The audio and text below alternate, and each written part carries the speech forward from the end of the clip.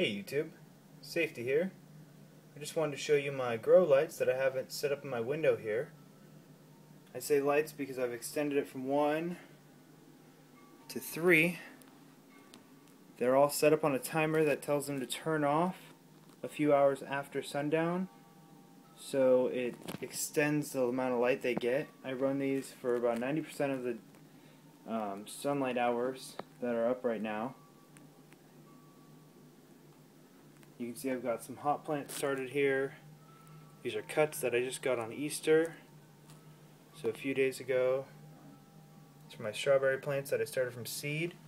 The ones on the end have been given grow lights directly. The two in the center have not.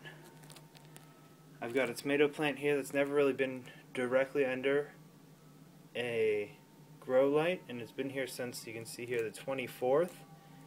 It's almost a month old. And if you go all the way over here, this tomato plant, it's been under the grow lights for about a week and it sprouted about two and a half weeks ago but uh, didn't get the grow lights right away. It took a while. So you can see the difference. I had an old tomato plant in here that got too tall so I took it and planted it outside after I hardened it off um, on my deck. But you can see how efficient these are. Each one's pulling, I want to say 7 to 8 watts. You can run them lower if you wanted to, uh, at each one being 7 watts I want to say, but I use the all on feature, which allows for all the LEDs to be on. But this is my indoor uh, seed starting bank that's in a window that gets about not even 50% of the sunlight for the day, direct sunlight at least.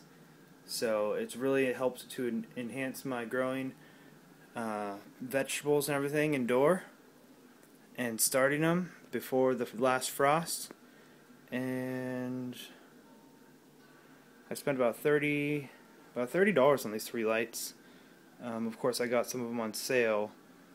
They're normally about $35 a piece at regular price, regular retail from Kohl's. But they work great, and I hope you enjoyed my video. Stay safe, YouTube.